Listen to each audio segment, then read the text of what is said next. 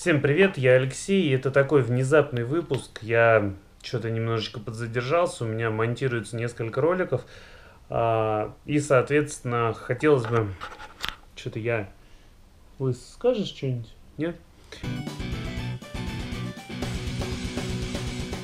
А, хотелось бы, собственно, сделать небольшие анонсы, ответить на комментарий Дмитрия Тактикал плюс Дмитрия Зайцева и, соответственно, чуть-чуть информации дать. Во-первых, значит, ролики сейчас готовятся, много, я надеюсь, интересных. Судя по тому, как зашли педали, я буду развивать дальше велосипеды.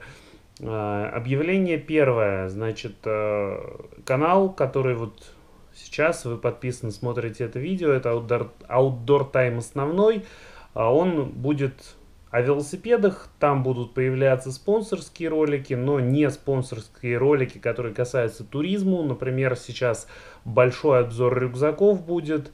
Это будет выходить на втором канале, куда я плавно переношу все ролики, не связанные с велосипедами и со спонсорами. Они или с, когда, ну, когда уже договор, срок годности, срок действия договора уже закончился, там я обещал, там, допустим, три года. Вот я эти ролики перенес уже на второй канал. Ссылочка есть в описании под каждым видео из новых. Соответственно, переходите, подписывайтесь, если интересно. Там будет туризм. То есть, если у меня, например, будет пеший поход, то видео по нему будет там. А, здесь остается велосипед и спонсорские ролики. Причем через год спонсорские тоже переедут на тот канал.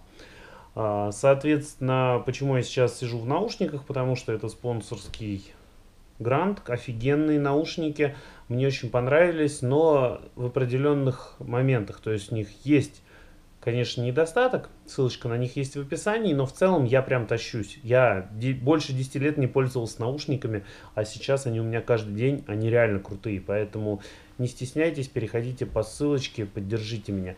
А, следующий момент, это значит, э, этим летом у меня планируется два велопохода. Это значит конец июля, начало августа.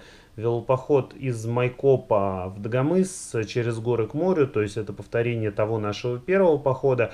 А, мы не планируем находиться долго в заповеднике, потому что мы едем, ну то есть я это организую ради знакомого, который очень хочет все это проехать. И он не может долго, у него, по-моему, 4 или 5 дней выходных будет. Поэтому мы, соответственно, может даже на шаттле добрасываемся до плато КПП Лаганаки. Там едем до Фишта, восходим на Фишт, может быть на Аштен, по погоде и ситуации смотрим. И сваливаем вниз до Гамыс. Э, хочется это сделать на велосипедах, потому что вначале, конечно, до приюта Фиш там будет довольно грустненько, зато те, кто был на Лаганаке, знают, валить с Лаганаки прям вот офигительно, прям с Салахаул все дела ты пролетаешь и кайф, и быстро, то есть очень удобно. Поэтому, если у кого есть желание, имейте в виду точные даты определюсь буквально там вот через месяц, может быть, ну, до мая в любом случае, поэтому либо если кто-то прям готов поехать, пишите мне в личку ВКонтакт, а, мы договоримся, я создам группу, и там уже будут точные даты, мы как бы все это провернем, съездим, потусим, пообщаемся.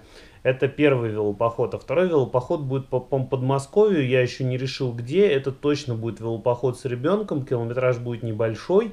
Я еще не думал над маршрутом. Это, возможно, будет ПВД. А, вот. Но как бы типа велопоходик с ребенком, те, кто хочет, тоже может присоединиться. Это будет лето. Там я еще тоже пока не знаю, но в любом случае это после после середины июня будет, когда уже потеплеет. Если не потеплеет раньше, конечно. Ну, в общем, это как бы будет общее мероприятие. И я отдельно еще этот велопоход с ребенком точно анонсирую. И еще, конечно, гонка в Питере. И если повезет, авантюр. Хотя авантюр мне интересней. Возможно, скорее авантюр, не гонка в Питере. Кошка кайфует на солнышке. Вот, ответ на комментарии Димы Тактикал. А, типа, зачем я скрыл комментарии? Не комментарий. Зачем я скрыл количество подписчиков?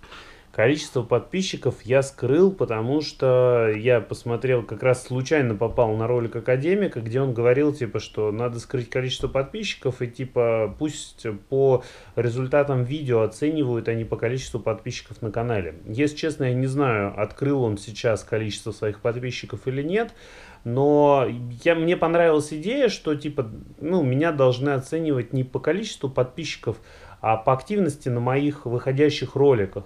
И я скрыл вот на этой волне количество подписчиков на всех своих каналах, по-моему. И, короче, как это ни парадоксально, рекламных запросов на рекламу у меня стало больше.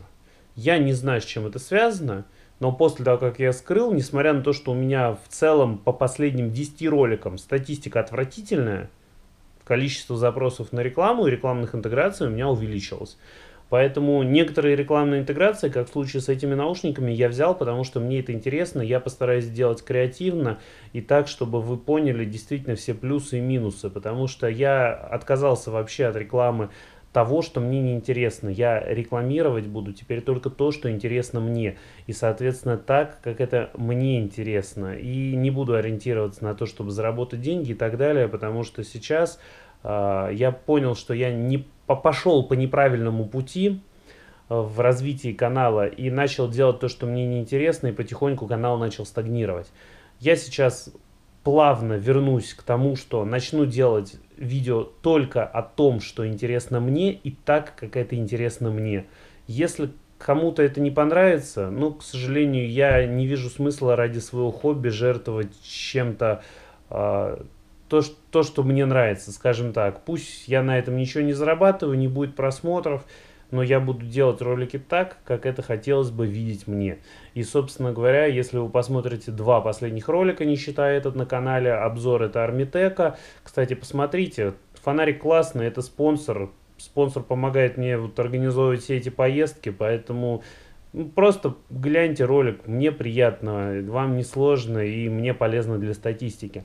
Вот, Армитек и педали. Вот я их еще сейчас чуть-чуть доработаю и буду делать ролики вот, наверное, в подобных форматах, потому что мне их приятно смотреть, мне это интересно.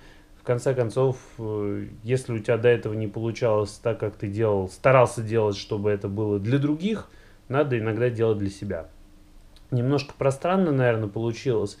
Вот, в мае я еду в пещеры, там будет серьезная исследовательская экспедиция в Абхазии. Я думаю, что, наверное, ролик тоже будет, но, скорее всего, уже на втором канале как раз, потому что ролик не спонсорский, и там будет вот спелю и все остальное должно быть там. Хотя, если прям огонь получится, может и на этом канале выйдет. Напишите в комментариях, интересно вам было бы смотреть не велосипедное на этом канале.